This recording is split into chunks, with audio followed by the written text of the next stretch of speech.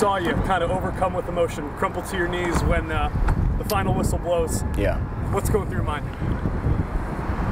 A lot of hard work paid off since August. Um, the dedication from, from this group of men, many of whom, I keep saying, many of whom never played rugby before, and yet here we are, national champions.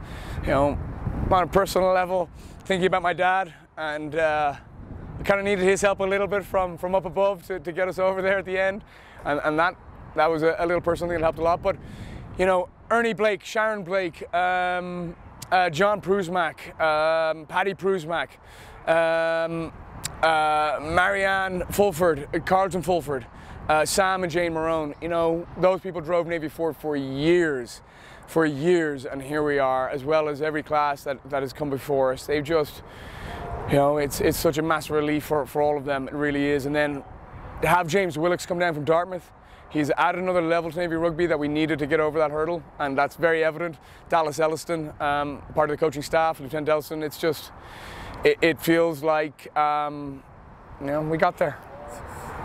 kind of mirrored the uh, matchup in March. The first half was very gritty. Yeah. then you guys come roaring back. What was the key to that? Well, we were a little bit unhappy with our performance in the first half. Um, you know, we didn't fire a shot for 30 minutes, and then the final 10 minutes we, we showed something and we got 14 points on the board to go in uh, only a point down at half time. So we saw that it was there. We just need to do a lot more of it. And, you know, come the second half, you got 40 minutes for these guys who, excuse me, our first team won't play rugby again. And they either do or they don't. And being the men they are, they did. And here we are. I go back to Chet's press conference when this became a varsity sport. He says that rugby's the warrior sport. Yeah. These are the, the qualities that midshipmen should have. How did these midshipmen display their nature this game? Uh, it's not just this game, Luke. I mean, we'll, we'll talk about this game, but it's, it's 18 games in a row. You know, we had no right to be 18 0. We have no right to beat Cal um, with guys who never played rugby before.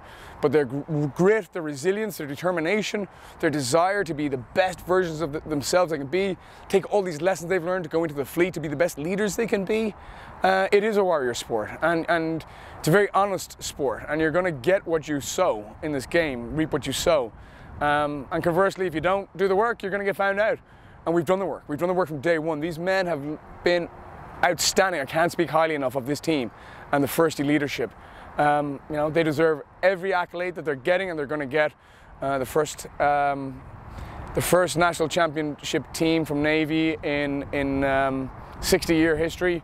Our first year as varsity, and it feels good. What about Landon's try? What did you see on that one? Uh, well, I was over the far side.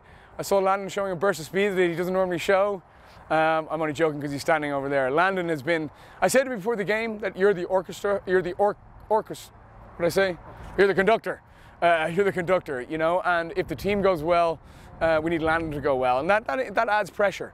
Uh, but with the 10 number, the number 10 on his back, um, he's got to be firing. He's got to do simple things really, really well, and he's been doing it unbelievably well all season. And Landon has grown massively himself this season. Uh, had a couple of setbacks during the season, which has helped him become the man and the leader and the player that he is.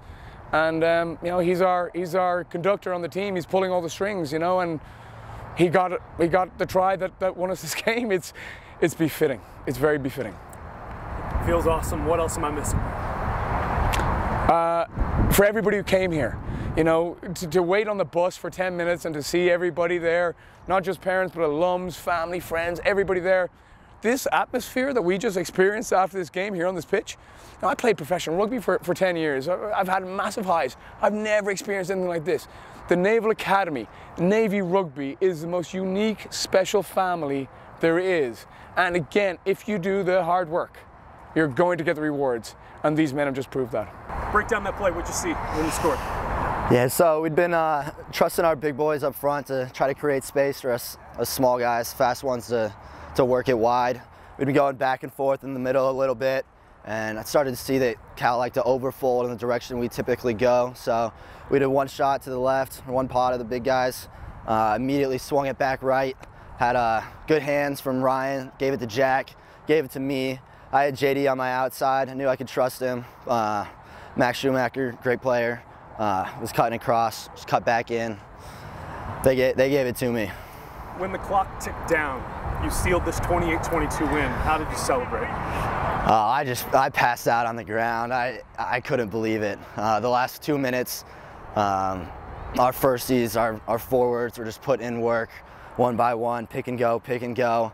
Um, there was nothing we could do but trust them. Uh, they won us the game. A full team effort. I can't believe it still. Coach was just talking about how special this community is to see the support you had and to finish such a great, great season. Just what are you feeling right now? Yeah, uh, Coach told us to not get too sucked into the event, and I tried really hard, but people are lining it as we come out of the bus. They're cheering for us at every moment of the game. It was incredible, the crowd we had out here today. Um, when we got down, they picked us right back up. I, I can't, there's no words for the amount of people that, that took time out of their weekends to come out here and support us. And uh, we, they, they helped us get the job done. You're a junior, you got a bright career ahead of you. I mean, where does this stack up for you in terms of just moments? That's got it has to top the list. Um, it's, it's been incredible. The entire season has been a season of firsts. Uh, it was how good could we be? We never really thought about how far we'd get. Uh, but now we're here, we can relish in it a little bit before we, we flip it back around over the summer to try to do it again. That's exactly what Coach was alluding to. I mean, this is just the start, a, a new chapter, a new story. I mean, just where is this program headed now that you've gotten as far as you can go? Yeah. Um, all the credit to the firsties we had this year. Us, us juniors, second class, will try to up the mantle, carry the mantle next year. But got a lot of good recruits coming in. We'll get better with Coach Hickie and Coach Willis. Another year working with them together. I'm excited to see where we go. What else am I missing? Uh, just thank you to everyone who came out. Go Navy, beat Army.